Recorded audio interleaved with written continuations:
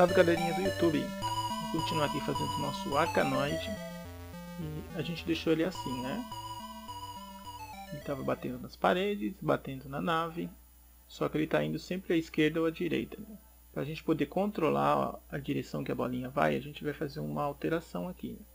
Né? Quando ela bater mais à esquerda do tacador, eu quero que ela vá para a esquerda. Quando ela bater mais à direita, eu quero que ela vá para a direita. Dessa forma a gente pode controlar ela né, no meio do jogo. Então para poder conseguir isso, a gente vai fazer uma alteração aqui no Action Ball. Eu vou dizer que se a bolinha, a posição X dela mais o comprimento, né, ou seja, ela inteira, se ela colidir com o lado esquerdo do, da nave, então a direção dela vai ser a velocidade x vai ser negativa, vai estar indo para trás. Então aqui eu vou colocar que se a posição, se a bolinha bater na metade da esquerda da nave, ou se a bolinha for maior, né, a posição x dela for maior que a nave x e a bolinha mais o comprimento dela for menor que a nave x mais a metade do tamanho da nave. Daí ela vai voltar para trás, né? Caso não, ela vai para frente. Bem simples o else. Se não for para a esquerda, vai ser para a direita. Agora a gente faz um teste, mas para isso eu vou criar aqui a função dos controles, né? Para a gente poder movimentar a nossa nave. Ela já está declarada ali em cima. Só construir aqui. Bom, eu vou copiar e colar aqui para ir mais rápido, né? Se eu pressionar para a esquerda e a posição da nave for maior que 30, ou se a posição da nave for menor que 500, ali, não está lá no canto, então ela vai poder inverter o x. Vou colocar aqui para chamar a função e vamos fazer um teste. Belezinha, agora a gente pode estar tá controlando a direção em que a bolinha vai. Né? É isso aí.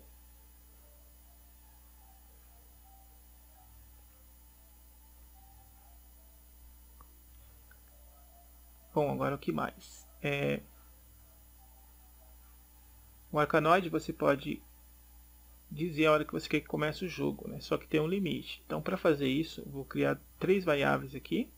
Uma chamada jogar, começar com zero. B action, né, que é a ação da bolinha, vai estar como false, como zero.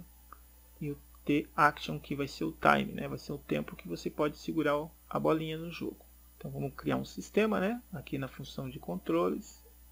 Vai ser o seguinte, se eu pressionar o espaço ou se o timing action for igual a 300, eu preciso que essas duas condições sejam exibidas primeiro e, além de uma dessas duas, o jogar tem que ser falso.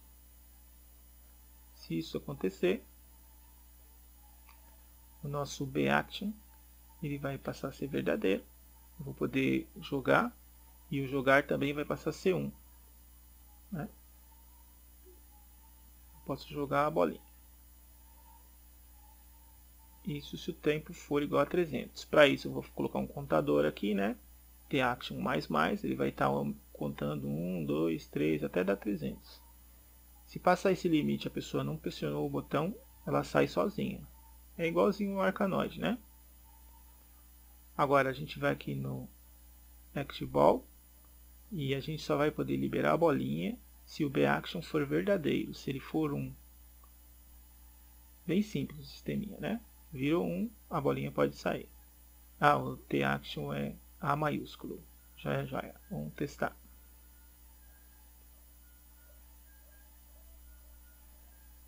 Aí eu deixei ela aí sozinha, o tempo acaba, né? Mas isso aí é só na saída, né? Quando você começa o jogo, ó. Só que tem um problema aqui. Se eu mexer para a esquerda, a bolinha não me acompanha. Para arrumar isso, eu vou criar uma outra condiçãozinha aqui no control. Bem simples, né? Se o, o B-Action for falso, se ele for igual a zero, e se o jogar também for falso, se ele também for zero, então a bolinha, a posição X da bolinha vai acompanhar a nave. Vai ser igual a nave mais 32 aqui para ficar bem no meio, né? Então vai ficar sempre acompanhando a nave até o ela ser liberada, ó. Tá vendo? Bem simples, né? Agora ela sai sozinha porque acabou o tempo. Deu os 300 segundos, milissegundos lá. Bom, agora vamos para a segunda etapa aqui. Vou criar mais uma variável de tipo, vamos chamar de vidas. As vidas vão ser igual a 3, né? A gente escolhe quantas vidas a gente quer no jogo.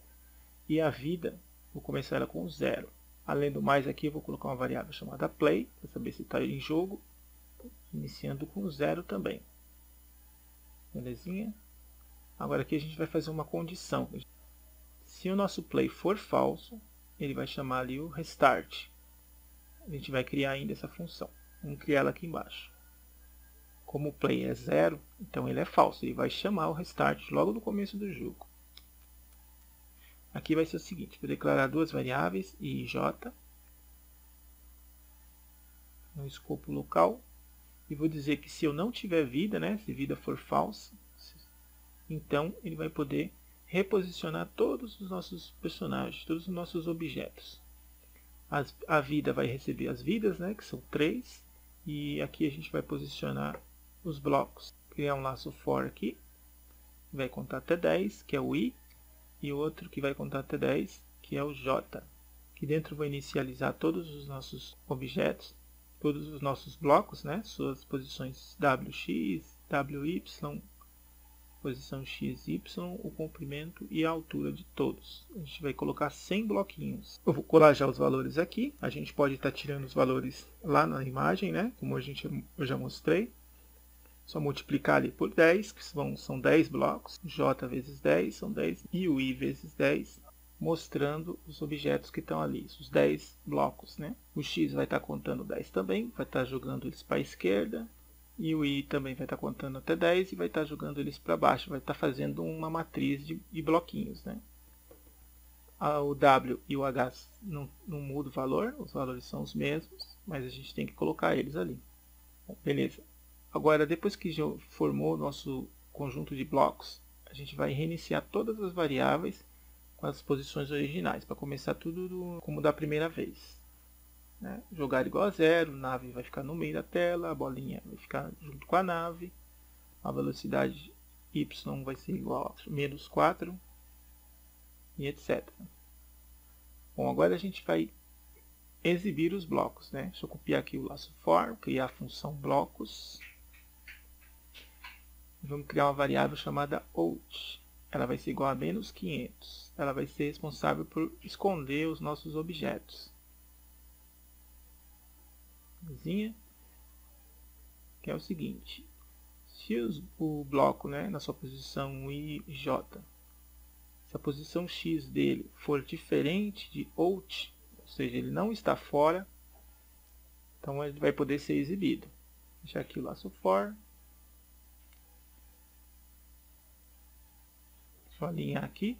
Então é o seguinte, vou usar o Mask Split, vai estar exibindo todos os itens, WX, WY, X, Y, altura e largura.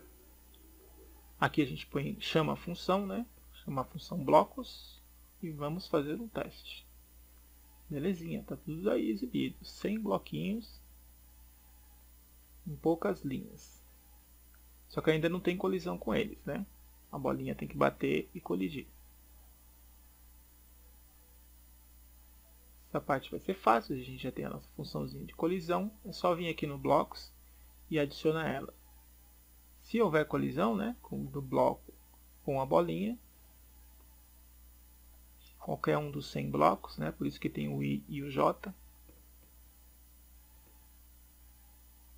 Então, a velocidade y da bolinha vai inverter, né, ela vai voltar para baixo. E os nossos blocos eles vão ser igual a out,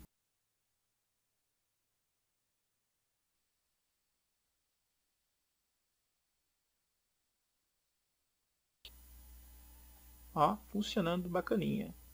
Só que é, é meio imperceptível, mas tem um erro aqui.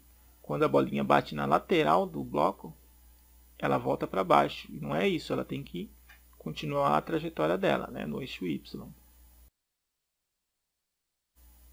É um detalhe bem simples, mas a gente pode corrigir aqui. Então eu vou colocar aqui uma outra condição. Primeiro você tem que bater na bolinha E depois ele vai verificar se ela bateu na esquerda ou se bateu na direita, né? Aqueles dois tracinhos ali é o ou.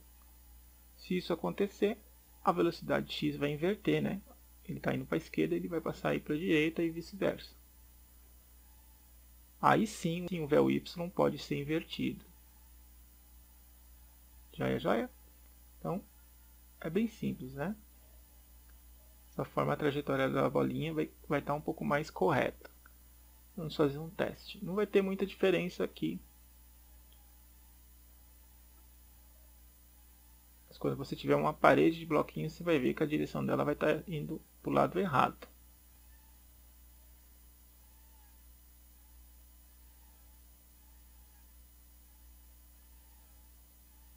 É isso aí, ó. Ela bateu na esquerda e continua descendo, bate na direita e continua subindo. Por enquanto vai ser só isso, a gente passou bastante coisa. E para finalizar aqui eu vou colocar os pontos. Né? Toda vez que bater em um dos bloquinhos a gente ganha 10 pontos.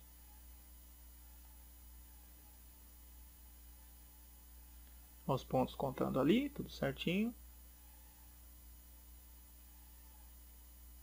E a gente vai continuar o tutorial, não acabou ainda não, ainda falta muita coisa, viu? Tem vários detalhes aí que a gente vai pôr. Tem um som, os efeitos e o menu. Espero que o pessoal tenha gostado aí, estejam fazendo, pelo menos entendendo. Até a próxima aí, galera. Inscrevam-se no canal, hein? Quem gostou, dá um like.